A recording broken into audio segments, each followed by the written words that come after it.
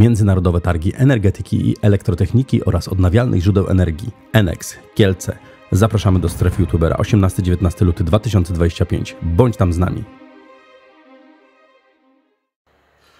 No słuchajcie, postanowiłem stworzyć taki poradnik, e, bo uważam, że dużo pytań zadajecie e, i w związku z tym taką nową playlistę e, przygotowałem na kanale.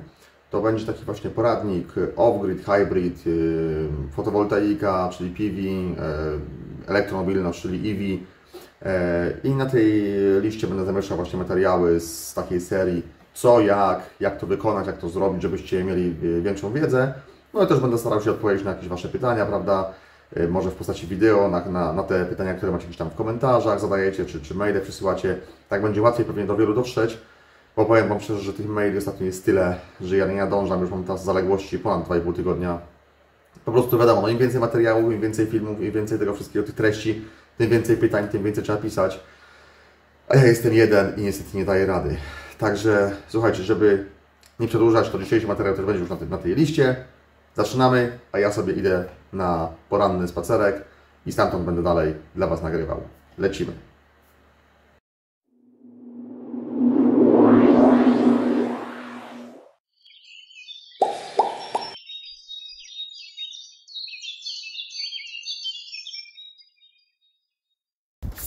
No, to idziemy. Syf naokoło. Trochę śniegu w nocy spadło, widzę. Deszcz pada, teraz taki śnieg z deszczem, trochę na przemian. Ale kurde, zimno! Pani kierowniczko, ja to wszystko rozumiem. Ja rozumiem, że wam jest zimno, ale jak jest zima, to musi być zimno, tak? Pani kierowniczko, tak jest odwieczne prawo natury. No właśnie. No to dobra, przejdźmy do tematu. Czy da się zbudować dom, autonomiczny dom, taki, żeby te systemy wszystkie mogły funkcjonować, żeby to był jakiś taki off-grid, prawda? No powiem szczerze, cytując naszego kolegę Sławka z kanału Panele Fotowoltaiczne, tak. Natomiast pytanie, jak do tego podejść, od czego zacząć, tu się pojawiają pewne komplikacje. No i teraz przede wszystkim, jeżeli przymierzacie się do tego, żeby wykonać sobie jakiś system wyspowy, system off-grid, to najpierw musicie przeanalizować, jakie macie zużycie energii i jaki, jaką mocą będziecie ten system obciążać. Są dwa najbardziej kluczowe elementy, bez których, jeżeli, jeżeli do nich podejdziecie rozsądnie, to będziecie potem tego żałowali, bo albo system nie dobierzecie mocowo i potem trzeba będzie nowe falowniki kupować lub, lub rozbudowywać cały system za dużo większe pieniądze, albo zwyczajnie będzie Wam brakować energii. Więc należy sprawdzić, jeżeli oczywiście macie jakiś, jakąś fakturę czy z zakładu obecnego, prawda, na tej podstawie ocenić, jakie jest Wasze zapotrzebowanie na energię, ile kWh miesięcznie zużywacie, a najlepiej jest to zrobić w skali roku, no bo wiadomo, że miesiąc to nie jest, wiadomo, robicie w ciągu lata, tak, i będzie już zupełnie co innego niż zimą, więc trzeba sobie to porównać miesiąc do miesiąca. I też na tej podstawie mniej więcej wyciągnąć taki profil zużycia energii, czyli sprawdzić sobie właśnie w których godzinach najwięcej zużywacie, jak, jak to jest w lecie, jak to jest jesienią, jak to jest zimą, no bo to jest właśnie bardzo istotne. Jak już to będziecie wiedzieć, to później powinniście sobie wziąć Wasze najbardziej energochłonne urządzenia, które macie, no i sumować ich nominalne moce. No i właśnie, nie wszyscy wiedzą o co chodzi, natomiast powiem Wam tak, na każdym takim urządzeniu, które macie w domu, jest tabliczka znamionowa. No i na tej tabliczce macie podane, ile to urządzenie maksymalnie będzie pobierało mocy. Dajmy na to taka płyta indukcyjna. Większość mają w domu. No i teraz, ile ona może pobierać? Wiadomo, że jak jest jedno czy dwupalnikowa, no to tam te pobory są na ogół do, do 3 kW, no bo to płyta pracuje na jednej lub na dwóch fazach. Natomiast są też płyty, które na przykład mają 4 palniki lub więcej. Takie czteropalnikowe to na przykład, jak wszystkie palniki chodzą na pełnej mocy, 7,2 kW, a no są już takie płyty, które biorą nawet 11 kW. Także takie też widziałem generalnie, więc no już spore pobory. No ale powiedzmy, że macie taką płytę nawet 11 kW. Macie pompę ciepła, bo jednak coraz więcej osób ma pompę ciepła. Czyli to jest kolejny pobór, który może być, zwłaszcza zimą, istotny, no bo będzie na przykład 3,5-4 kW bez grzałek, a jak załączą się grzałki, no to już wtedy będziemy mieli nawet do 6-7 kW, zależy oczywiście od mocy pompy, od temperatury na zewnątrz, jak bardzo ujemna, no wiadomo, że to od tego jest właśnie zależne. No ale to powiedzmy, że kiedy takie skrajne warunki mogą wystąpić? No na ogół zimą, prawda?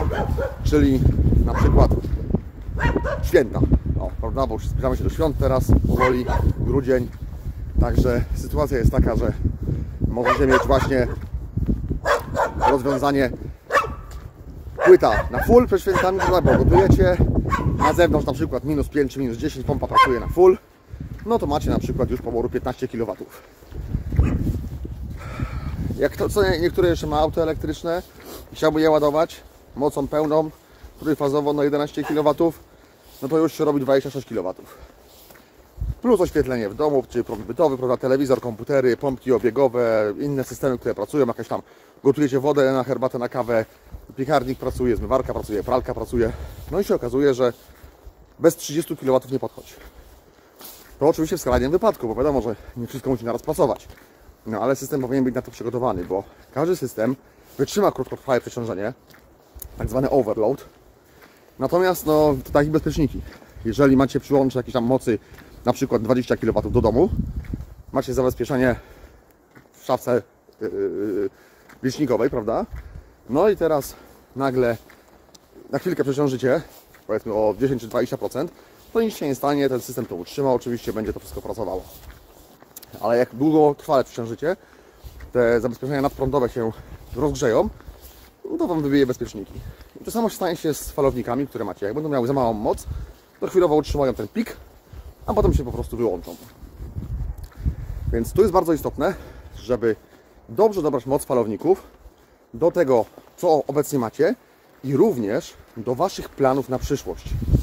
Dlatego, że może być tak, że dzisiaj macie pobór na przykład maksymalnie 10 czy tam 12 kW i wydaje Wam się, że to Wam w zupełności wystarczy, więcej nie będzie potrzebne.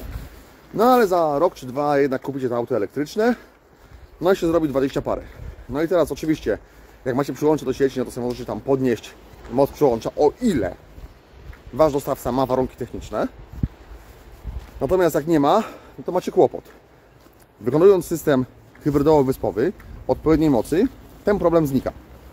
Bo do, tak sobie falniki dobieracie, że one Wam dadzą tą większą moc z akumulatorów, z fotowoltaiki, a ewentualnie wspomożecie się jakoś tam siecią energetyczną, mniejszą mocą, nie wiem, w nocy i tak dalej, naładujecie akumulatory. Tam są setki rozwiązań, które można zastosować i algorytmów różnych. Natomiast oczywiście to tak pokrótce. Więc mamy omówioną moc. Zużycie natomiast, czyli to ile energii pochłaniacie dziennie, dobowo, e, tygodniowo, miesięcznie, rocznie, to jest mniej więcej to, jaki musi być, jaka musi być pojemność Waszego magazynu energii. No i teraz to trzeba też jakoś oszacować.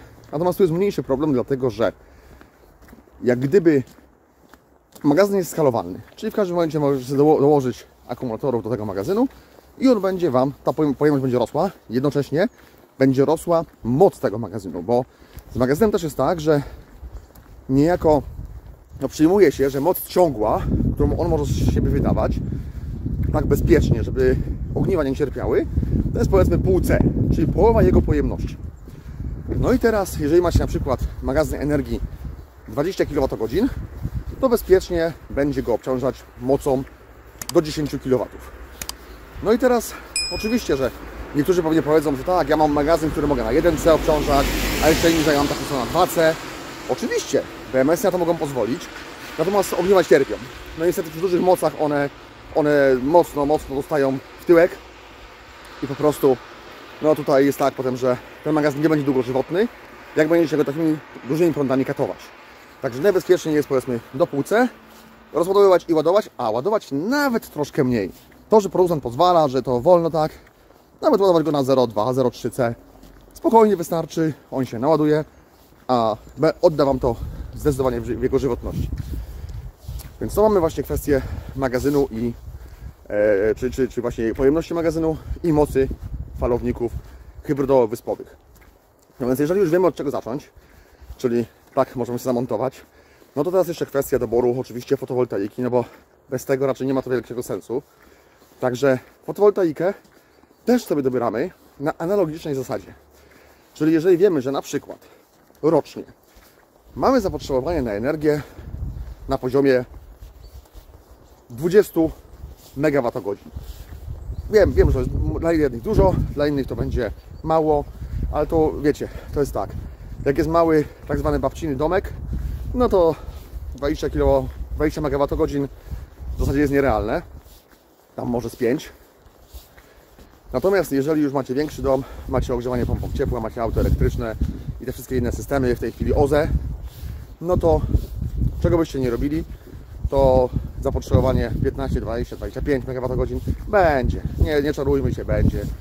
Więc, więc i ono będzie czasem rosło. Bo wiadomo, że jeszcze ktoś ma dzieci, no to potem większe potrzeby i tak dalej. Także nie, nie, nie ma co tutaj się zastanawiać. Będą potrzeby energetyczne duże.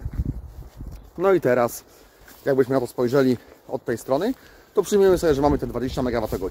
Jeżeli wiemy teraz, że z każdego kilowatopika paneli fotowoltaicznych możemy wyprodukować średnio rocznie 1 MWh. No to znaczy, że jeżeli sobie weźmiemy teraz instalację o mocy 20 kWp, to ona powinna nam pokryć zapotrzebowanie 20 MWh rocznie. Ale to znowu wszystko jest zależne od tego, w jakim kierunku te panele będą stały, czy to będzie południe, czy to będzie wschód-zachód, czy pod jakim kątem będą zamontowane, prawda, czy na płasko bardziej, czy bardziej pionowo i tak dalej. Na tym się skupimy w innym materiale, bo to nie ma sensu, żeby wszystko do jednego odcinka wrzucać. Natomiast tak pokrótce, są pewne optymalne kąty. To, czy ustawicie wschód, południe czy zachód, zależy właśnie od Waszego profilu zużycia energii. Kiedy więcej potrzebujecie, to wtedy należy ustawić odpowiednio do, do kierunku słońca. I to chyba tyle. Więc, więc ja Was z tym zostawiam dzisiaj. Specjalnie nie będę tego odcinka dłużej ciągnął, bo uważam, że będzie się nudzić, ale lepiej, żebyście napisali więcej komentarzy i żebyście po prostu podsumowali to w jakiś taki sposób własny, wasze, wasze przemyślenia, Wasze pomysły. I tak jak powiedziałem na początku, chciałbym, żeby ta playlista się rozwijała, czyli de facto, żebyśmy ją tworzyli wspólnie. Wy będziecie dawać pewne pomysły, pewne pytania, Yy, będziecie je zadawać, ja będę je tam gdzieś sobie zbierał, odkładał i te lepsze, te ciekawsze postaram się jakoś właśnie realizować, odpowiadać właśnie postaci wideo. To ułatwi pracę i mnie, a Wam też do, do Was dotrze w szerszej jakby grupy, tak, szerzej ta informacja się rozejdzie. No i chyba o to właśnie chodzi.